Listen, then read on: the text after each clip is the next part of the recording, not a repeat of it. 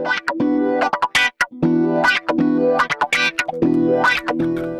mga kabayan, it's me again, Lee, and welcome back to my channel. And welcome din po sa mga bago pa lang sa akin channel. At kung bago ka pa lang sa akin channel, huwag mahiyang pindutin ng subscribe button at i-click mo na rin ang notification bell para mas updated ka sa mga latest video na pwedeng makatulong sa iyo, sa kanya, o sa ating lahat. So ayun na nga no mga kabayan, so ang pag-uusapan natin ngayon ay tungkol sa pagbabayad ng real estate property tax o ng ating amilyar.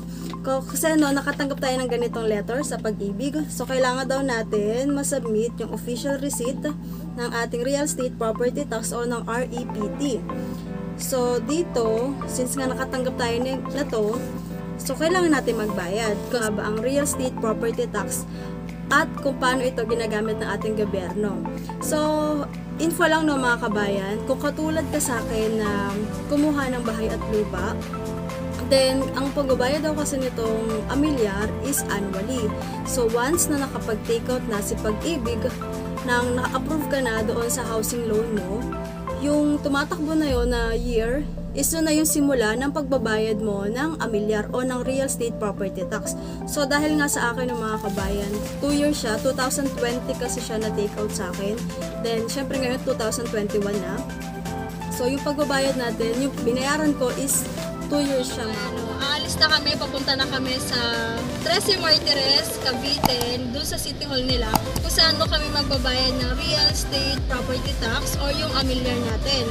So, dahil nga nakatanggap tayo no, na to, ng ganito, ng pag-ibig letter, dahil kailangan daw nila ng OR nila, ng OR natin na nakapagbayad tayo ng real estate tax natin.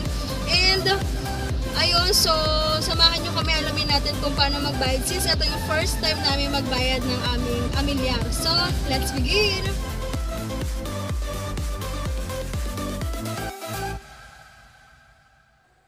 What is real property tax? Real property tax or RPT is a tax that you pay annually if you own a property. It is imposed by the local government unit as specified under the local government code. RPT is a way to increase funding for the LGU for it provide basic public services.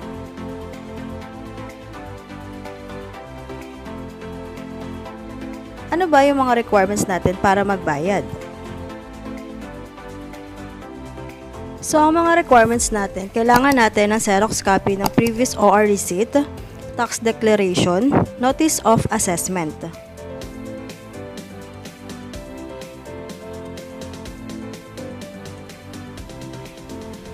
So, ito yung mga sample natin mga kabayan, no? yung previous OR receipt.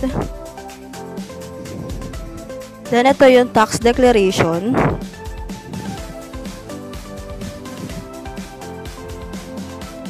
At ito din yung sample ng Notice of Assessment natin or NOAA.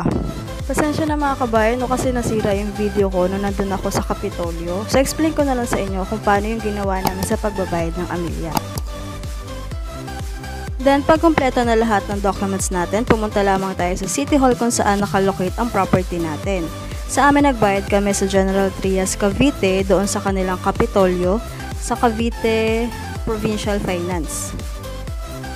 Then after nun, pumunta lang kami sa assessment table. Doon ibibigay yung mga Xerox requirements natin. Then doon din malalaman kung magkano yung ating babayaran. Then after nun, pag nagbigay na sa atin yung papel, ibibigay lang natin ito sa cashier upang magbayad. Then doon na natin makukuha yung official receipt o yung OR na ipapakita natin sa pag-ibig branch kabayan, nakapagbayad na tayo ng ating amilyar o ng ating real estate property tax. So, ito na siya mga kabayan. Ito na yung resibo niya. So, ngayon, dito kasi mga kabayan, makikita nyo doon sa resibo, no? meron siya nakalagay ng na L and B. So, ibig sabihin daw noon, yun yung land, tsaka yung building na binayaran mo. So, halimbawa dito no sa amin, ayan. Ito kasing 2020 ko, yung 2020, Since ang binayaran ko lang dito is yung building, building dahil daw binayaran na ng aming developer yung land. So, ang binayaran ko na lang dito is yung building niya. So, pero dito sa 2021, ito, ang binayaran ko dito is yung land at yung building niya. So, hindi naman siya ganun kamahalan ng mga kabayan. Wala siyang 1,000, nasa 500 plus lang siya. So, napakabilis lang ng process. Dalhin mo lang lahat ng mga nasabing documents, basta kumpletuhin mo lang yon bago ka pumunta. Then, iserox mo na rin para meron kang copy.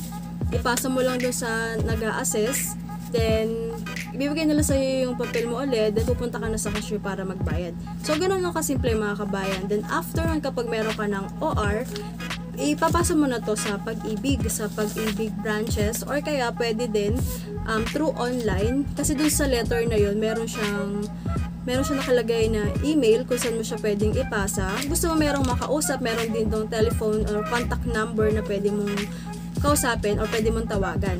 So, ayun, ang ginawa ko sa akin, sinend ko siya via email dahil pumunta ako sa pag-ibig na malapit sa amin. So, wala daw yung taong kakausap sa akin. So, ang nangyari is in-advise na lang niya ako na isend na lang via email or tumawag na lang kung gusto kong merong makausap. So, ayun lang ng mga kabayan kung paano magbayad ng ating real estate property tax. Napakasimple lang, 3 easy ways lang para makapagbayad. And syempre, yung pinakakailangan natin doon is yung pera nating pangbayad. Pero hindi naman siya ganun kamahalan, no? So, I hope na nakatulong itong video na to. At kung nagustuhan niyo yung video, please like the video and share nyo na rin po sa mga taong kailangan itong video na to, yung paano magbayad ng ating amilyar, yung mga taong tulad ko na first timer magbayad. So, see you in my next video. Stay safe, be healthy, and peace!